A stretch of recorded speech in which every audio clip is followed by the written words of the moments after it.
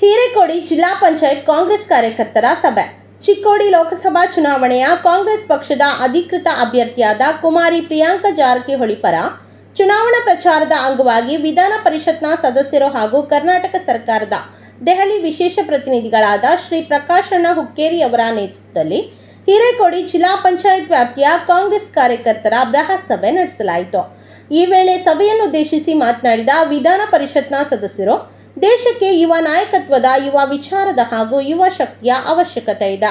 ಕಾರಣ, ಚಿಕ್ಕೋಡಿ ಲೋಕಸಭಾ ಕ್ಷೇತ್ರದ ಅಭ್ಯರ್ಥಿ, ಯುವ ನಾಯಕಿ ಕುಮಾರಿ ಪ್ರಿಯಾಂಕಾ ಜಾರಕಿಹೊಳಿ ಅವರಿಗೆ ತಮ್ಮ ಅಮೂಲ್ಯವಾದ ಮತವನ್ನು ನೀಡಿ ಗೆಲ್ಲಿಸಿ ಎಂದು ಕಾರ್ಯಕರ್ತರು ಹಾಗೂ ಮತದಾರರಲ್ಲಿ ಮನವಿ ಮಾಡಿದ್ರು. ಎಲ್ಲೆಡೆ ಕಾಂಗ್ರೆಸ್ ಅಲೆ ಬಿರುಗಾಳಿಯಂತೆ ವ್ಯಾಪಿಸಿದ್ದು, ಜನಪರ ನಿಲುವು ಹೊಂದಿರುವ ಕಾಂಗ್ರೆಸ್ ಪಕ್ಷ ಅಧಿಕಾರಕ್ಕೆ ಬರಬೇಕೆನ್ನುವ ಜನರ ಉತ್ಸುಕತೆ ಹೆಚ್ಚುತ್ತಿದೆ.